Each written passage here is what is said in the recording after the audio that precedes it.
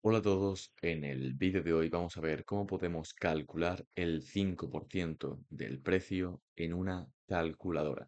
Es muy sencillo y vamos a verlo paso a paso. En primer lugar, vamos a poner el precio inicial sin el descuento y si queremos hacer un descuento del 5%, tenemos que multiplicarlo por 1 menos el descuento. Es decir, en este caso, 1 menos 0,05, que es 5%. Es decir, sería 0,95. Igualamos y este es el precio después de aplicar un descuento del 5%. Esto ha sido todo, gracias por ver este vídeo y nos vemos en el próximo.